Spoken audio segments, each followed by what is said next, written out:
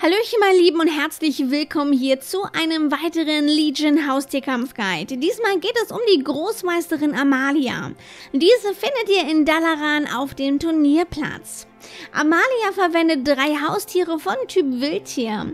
Wir werden gegen diese drei nur ein mechanisches Haustier einsetzen, und zwar den persönlichen Weltenzerstörer. Mit den Fähigkeiten Reparieren und Erdbeben. Herstellen kann dies zum Beispiel ein Inji, aber auch im Auktionshaus kann man ihn oft anfinden.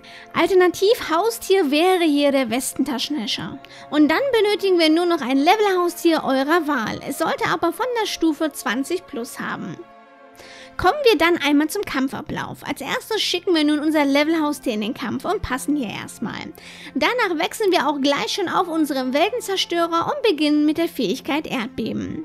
Die Attacke Erdbeben trifft auch jetzt nicht nur das aktive Gegnerhaustier, sondern auch die anderen zwei dahinter. Danach benutzen wir Reparieren und heilen uns erstmal in Ruhe hoch. Nun folgt wieder die Attacke Erdbeben und danach müssen wir erstmal zwei Runden abwarten und passen hier auch zweimal. Danach setzen wir es ein letztes Mal ein und gewinnen den Kampf. Das Schöne ist, dass wir hier noch nicht mehr gegen die anderen zwei Gegner antreten müssen und so natürlich leichtes Spiel haben. Außerdem leveln wir auch noch mit dieser Taktik ein Haustier. Ich hoffe auf jeden Fall, der Guide hat euch jetzt ein wenig weitergeholfen und ich wünsche euch natürlich viel Spaß beim Kampf. Und ansonsten hören wir uns natürlich, wenn ihr es möchtet, zum nächsten Video wieder. Bye bye!